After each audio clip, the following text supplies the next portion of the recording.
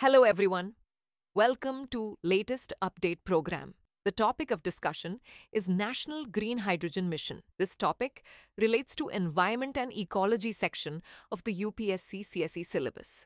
First of all, let's see why this topic is in the news. Recently, the Green Hydrogen Certification Scheme of India, GHCI, has been launched by the Ministry of New and Renewable Energy, MNRE. India has mandated green hydrogen producers to certify that their hydrogen is produced using renewable energy sources. This is part of the National Green Hydrogen Mission, which aims to produce 450,000 tons of green hydrogen over the next three to five years. Before moving further, an important announcement the next offline batch of the IAS GS Foundation course, Prelims plus Mains, is starting soon at Drishti IAS, Noida. The English medium batch will begin on 7th May at 8 a.m. and Hindi medium batch admissions are now open. For more details, contact 87501 87501.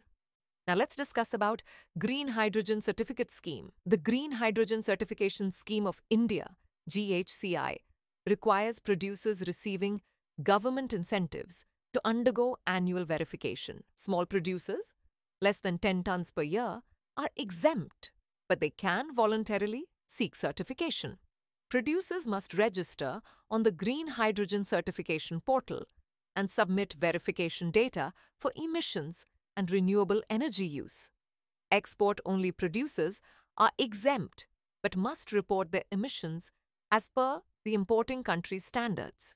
Green hydrogen certificates will be tradable once India's carbon market launches in 2026. Now, moving on to details about green hydrogen. It is produced using electrolysis of water with electricity generated by renewable energy.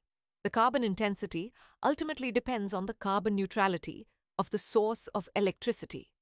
That is, the more renewable energy there is in the electricity fuel mix, the greener the hydrogen produced. Now let's discuss about National Green Hydrogen Mission. India launched the National Green Hydrogen Mission, NGHM, in January 2023.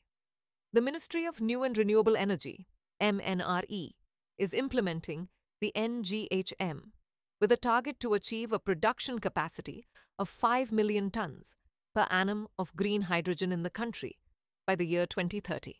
Under NGHM, a dedicated portal was launched to provide information on the mission and steps for developing the green hydrogen ecosystem in India. Now is the time for previous year question from UPSC CSE Prelims 2023 exam. With reference to green hydrogen, Consider the following statements. It can be used directly as a fuel for internal combustion.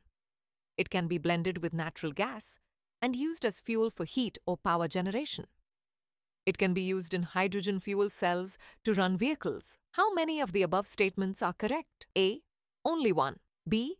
Only two. C. All three. D. None. Send the answer for this question in the comment section. Thanks for watching.